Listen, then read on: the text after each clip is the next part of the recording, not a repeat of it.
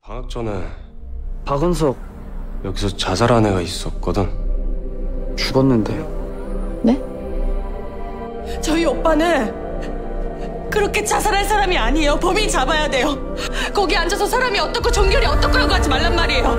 죽은 사람이 범인 잡아요. 범인 잡으란 말이에요. 죽고 나면 정말 아무것도 없는 걸까? 뇌에 종양이 있기 때문이에요.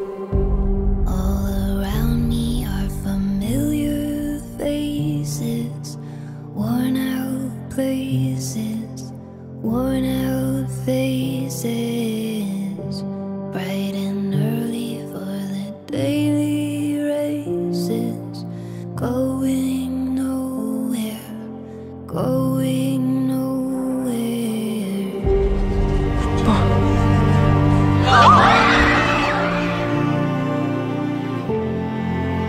그 새끼를 왜 학교로 다시 불러들여서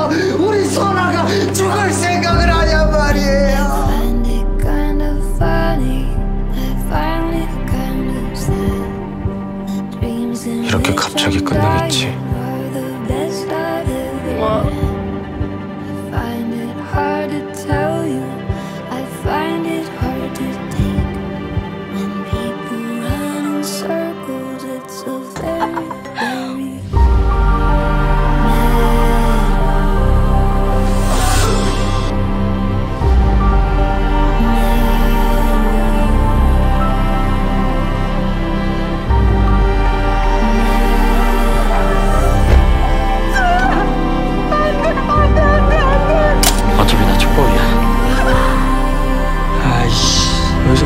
인 냄새가 나냐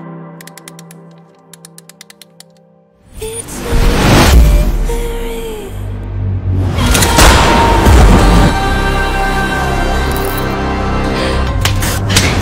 박은석 내가 죽였을 것 같냐고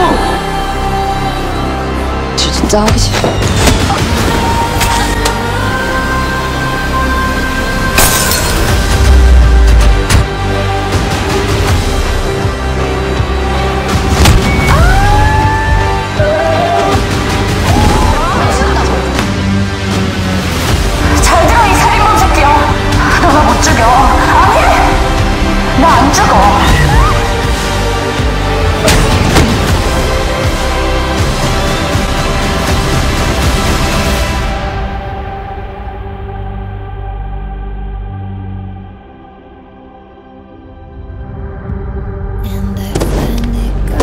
나한테. 은인이었고 원석이 너무 좋은 애였어.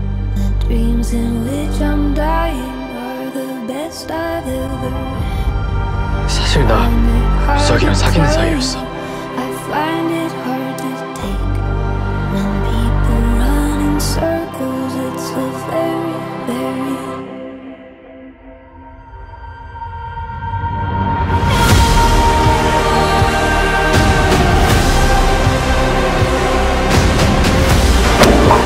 거짓말했어